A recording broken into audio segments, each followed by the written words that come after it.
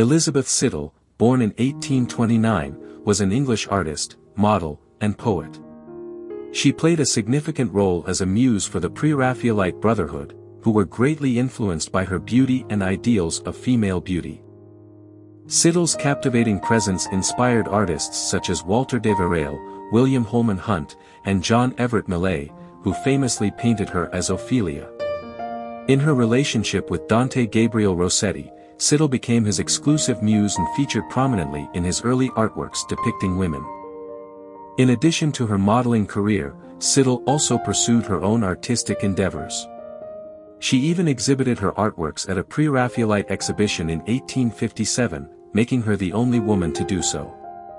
Today, significant collections of her artwork can be found at Wightwick Manor and the Ashmolean.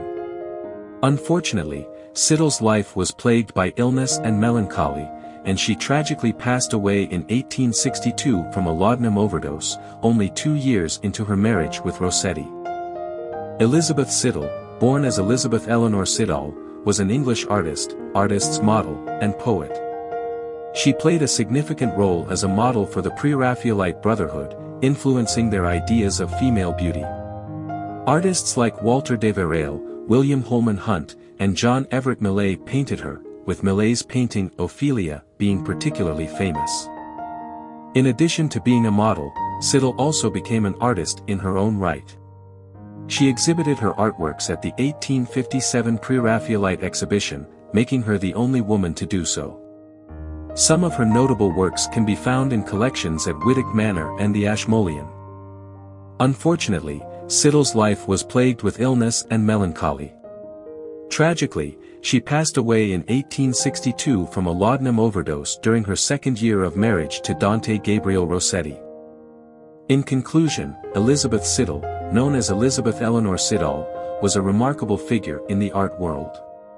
As a model, she inspired the renowned Pre-Raphaelite Brotherhood, including artists like Walter Deverell, William Holman Hunt, and John Everett Millais, who immortalized her beauty in their paintings.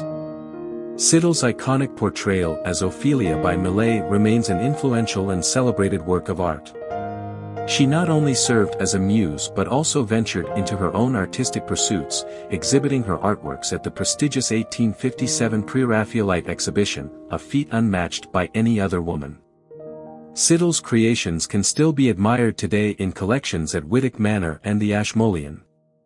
However, Siddal's life was plagued with sorrow and illness, and her untimely demise in 1862, just two years into her marriage to Dante Gabriel Rossetti, left a profound sadness in the art world. Despite her short-lived career, Siddal's impact and legacy as an influential muse and artist continue to resonate today.